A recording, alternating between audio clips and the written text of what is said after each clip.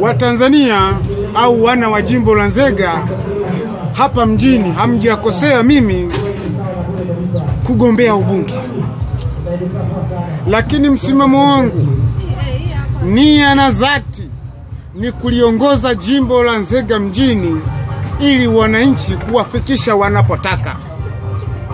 Asilimali ya taifa hususani halmashauri hakuna vyanzo, ndio maana Diamond hapa hawezi kuja, ni kwa sababu wasimamizi wa halmashauri hakuna ukumbi hapa. Sasa mimi chanzo cha kwanza nilichokiona, kwa sababu mmeweka mama ntilie pale, mmeweka wenye vibajaji, mmeweka watu wa sijui magari makubwa pa, parking. Tutatoa, tutajenga ukumbi mmoja mkubwa.